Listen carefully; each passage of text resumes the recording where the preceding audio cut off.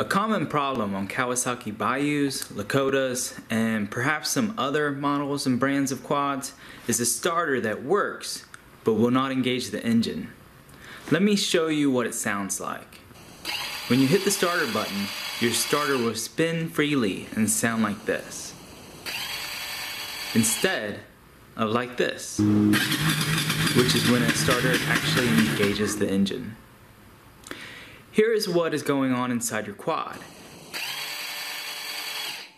As you can see, the starter is spinning, but the starter chain isn't moving the flywheel. To fix this, you need to replace your starter drive idle gear sprocket because the clutch inside of it has gone bad. Early Bayou models had a solid sprocket without a clutch.